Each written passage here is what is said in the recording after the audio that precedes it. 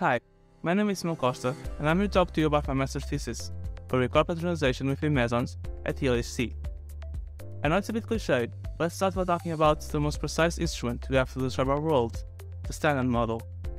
It describes elementary particles, quarks, leptons, and bosons, and their interactions, of which we are particularly interested in the strong interaction. The quantum field theory that describes interaction is called quantum chromodynamics and is mediated by a gluon. Is a SU3 component of the Standard Model, and one of its key features is called color confinement hypothesis, which states that quarks are not allowed to propagate freely and can only propagate in colorless states where they are bounded. In fact, if you pick a quark in one of these bound states and try to pull the quarks apart, it will actually be more energetically efficient for the creation of a quark-antiquark pair. This process is called hadronization, and in this work we are interested in studying two different mechanisms for it. The, first being fragmentation, which is more likely to occur in high momentum regions, and coalescence, which is more likely to occur in low momentum regions. In our work, we will be focusing our study on B mesons, specifically the B-S and B plus meson, on the following decay channels. Why do mesons might be asking? Well, this choice is due to two important qualities. Firstly, they have a longer lifetime, which means they will suffer larger displacement from the primary collision vertex for decaying, and will therefore create secondary decay vertex which is much easier to distinguish from the rest of our data.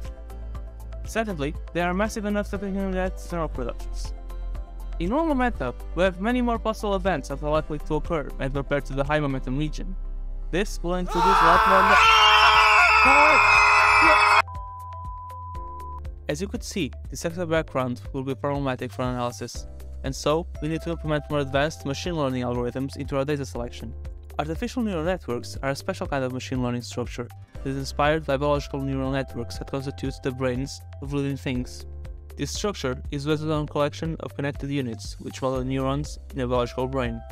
Each connection works the same as synapses, transmitting a signal to neighboring neurons, which in turn process them and output another signal to other neurons connected to it, with the network being trained using a labeled dataset adjusting the weights of the connection between the neurons until the predicted outputs match the actual outputs as closely as possible.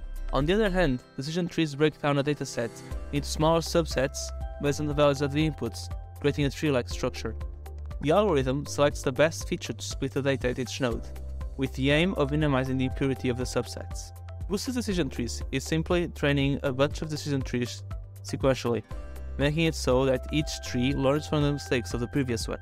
In addition to the study of this coalescence mechanism, we also have a second goal for our work, the quark-gluon plasma. It's a state of matter that only exists under extreme conditions, like very high temperature or density, and in this state, the quarks and gluons become free instead of being bound together into hadrons. Understanding this state of matter is very important, since it is believed that it existed just after the Big Bang. To study this plasma, we'll need to calculate something called the nuclear modification factor. We obtain this factor by comparing the cross sections between proton-proton collisions and lead-lead collisions, being the main difference between these that lead-lead collisions have reduction of QGP, whilst proton-proton do not. We will be working on calculating the cross sections for the proton-proton collisions using data collected on the compact muon solenoid, a general-purpose particle detector at the LHC, and one of the most advanced things humanity has ever built, being able to accelerate particles to near light speeds. With these calculators, we'll be able to study the effect of the QGP on the ionization process and get a better understanding of this process and of our universe at its beginning, letting us advance physics with a bang.